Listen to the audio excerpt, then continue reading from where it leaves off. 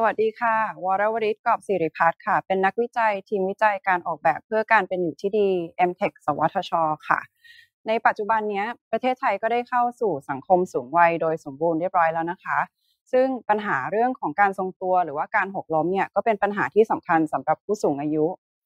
ซึ่งอาจจะทำให้เกิดการบาดเจ็บ หรือว่ามีร่างกายที่เสื่อมถอยตามมาได้นะคะ ซึ่งนักวิจัยในทีมการออกแบบเพื่อการเป็นอยู่ที่ดีเนี่ย ก็ได้คิดค้นนวัตกรรมตัวนี้ขึ้นมานะคะ จะเป็นชุดบอดี้สูทชื่อว่า Ratio รุ่น Active นะคะ เป็นชุดสวมใส่ป้องกันการบาดเจ็บ แล้วก็ป้องกันการหกล้มช่วยในการเคลื่อนไหวของผู้สูงอายุ ด้วยเทคโนโลยีของกล้ามเนื้อจำลองแบบนิวเมติกนะคะ ซึ่งทางทีมวิจัยเนี่ยได้ออกแบบให้มีวัสดุเสริมแรงดังกล่าวเนี่ยให้อยู่ในบริเวณต้นขา บริเวณสะโพกแล้วก็สะบักแล้วก็ขึ้นมาแล้วก็บริเวณหลังด้วยนะคะ ซึ่ง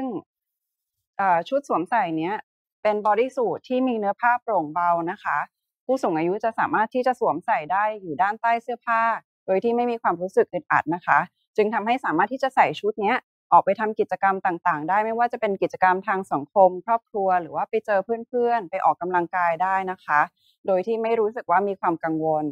ก็จะทำให้ผู้สูงอายุเนี่ยเกิดความมั่นใจ แล้วก็สามารถที่จะช่วยเหลือตนเอง แล้วก็รักษาสุขภาพที่แข็งแรงได้เป็นเวลานานนะคะ จึงเป็นนวัตกรรมที่ตอบโจทย์สำหรับผู้สูงอายุไทยค่ะ สำหรับผู้ที่สนใจนวัตกรรม bodysuit พยุงกล้ามเนื้อ Rachel รุ่น Active นะคะ สามารถที่จะติดต่อฝ่ายพัฒนาธุรกิจ MTEC สวทช ได้เลยค่ะ